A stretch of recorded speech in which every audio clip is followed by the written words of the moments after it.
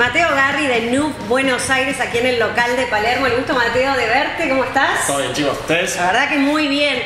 New, eh, digamos, este concepto de scooter eléctrico que está en el mundo, ¿no? La marca global New, New aquí en, en la Argentina, ya hace dos años que están, ¿verdad? Correcto, acá en Palermo ya estamos hace dos años y bueno, ahora la marca está abriendo algunos concesionarios adicionales en Buenos Aires, Bien. en el interior del país, así que contentos, eh, dando un pasito en lo que se viene para adelante en definitiva. Es lo que se viene, es lo que pasa en Europa, en China, en todas partes donde se vende la marca que hablábamos recién detrás de cámara y justamente es la marca eh, con scooters eléctricos de más, ¿cómo lo podríamos decir? De más importancia del mundo por la cantidad de diseños que tiene, por bueno, por todas las características del scooter y por cómo se viene lo eléctrico fundamentalmente. Tal cual, como vos decías, eh, New en el mundo, Noob acá en, en Argentina es la marca número uno de venta de scooters eléctricos en el mundo, ¿bien? Así que es el mejor, como te contaba recién hace un rato, es tipo el iPhone de los scooters eléctricos, por así decirlo. Así, Así que, es.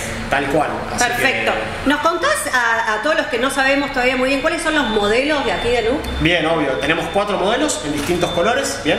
El modelo de entrada de gama se llama la U Pro, que es la más chiquitita. Bien. Es un scooter ideal para, para pequeñas distancias dentro de la ciudad. Después de eso tenemos la M, que es un scooter que ya te da un poquito más de autonomía. Bien. Después te, ya te puedes saltar a la N Sport, ¿sí? que es una moto ya más scooter, es como si fuese un equivalente a 125 centímetros cúbicos en lo que serían motos a combustión. En las motos, ele- los scooters eléctricos se miden por watts la potencia, Sí. por lo cual el, el equivalente en watts a la, la moto que te comentaba recién, el scooter que te comentaba recién es de 125 centímetros cúbicos. Y por último, que es el tope de gama, es la NGT, que es la moto que está saliendo ahora en cámara. Sí. Esta es eh, la NGT, bien, que es el, de vuelta el modelo más equipado y con más autonomía que trae la marca. ¿Una autonomía de cuánto? Esta moto en el, en el modo eco te da 140 kilómetros de autonomía. Bastante. Bastante. Es bastante. Para lo que es de vuelta, lo que se usa en los scooters eléctricos, que es para la ciudad, es muchísimo. Eh, ¿Y, y los otros scooters, los otros modelos, qué autonomía manejan más o bueno, menos? la U Pro Porque te- son más urbanos. son más urbanos. Esto es un. Si te, te lo cuento por modelo. La U Pro es un modelo excelente para pequeñas distancias, cuando tenés un recorrido de 5 kilómetros por día. Cuando tenés que ir a trabajar, volvés. Y laburás cerca de tu casa, te puedes mover con eso, te da entre 20 y 30 kilómetros de autonomía. Bien. La U Pro. Bien. La M te da entre 40 y 50 kilómetros de autonomía. Bien, ya te puedes estirar un poquito más. Un poco más.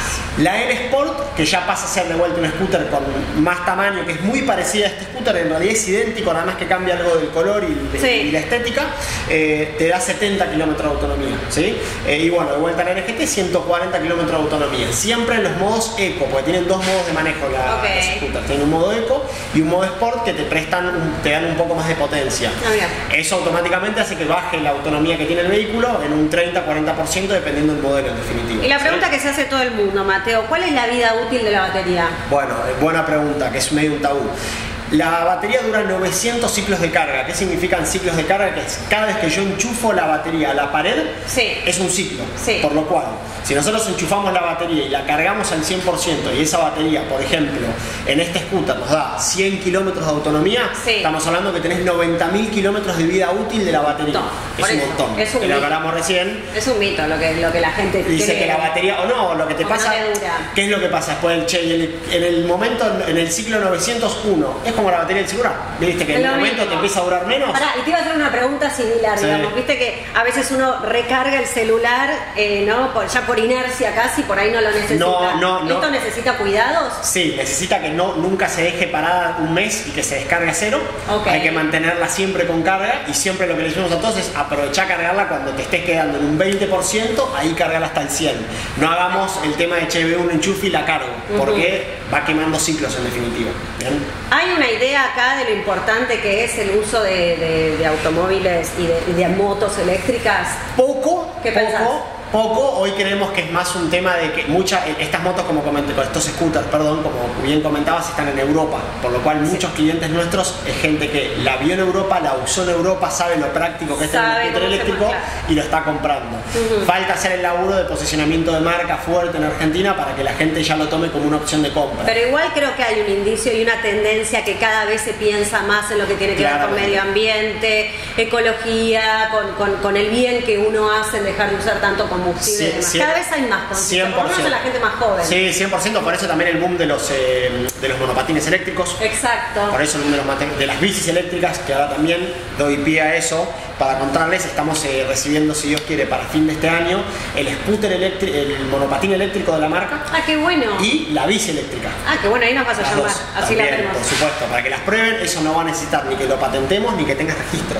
¿bien? Bien. Estos scooters eléctricos están homologados, que también es algo importante eso para contar. Muy bien. Están homologados, se les puede asegurar, ¿sí? Y tenés que tener el carnet de conducir. Bien, lo bueno es que el carnet de conducir para marcar estos scooters es el primero que te dan, por lo cual no tenés que estar un año y renovarlo y para después, por lo cual con el primer registro, eh, registro que te dan ya las puedes usar. Pero bueno, ya para fin de año el portfolio que vamos a tener va a estar más completo y va a estar compuesto en monopatín, scooter y bicicleta también eléctrica. Te quiero hacer una pregunta. ¿Hay planes de financiación si alguien quiere adquirir alguno de Sí, estos scooters? tenemos dos opciones, eh, tres opciones en realidad. Siempre con tarjeta de crédito, Visa o Mastercard. Sí.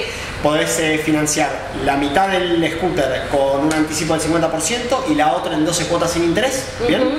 O podés optar por financiar el 100% del valor del producto con un recargo del 25% para 12 cuotas o de 30% para 18 cuotas. En caso que quieras llevarte la moto totalmente financiada. Perfecto, todos queremos una de estas, ¿o no? Todos. Todos. Y más si es financiada al 100%. Obvio. Bueno, gracias, Mateo. Gracias a los patos por venir.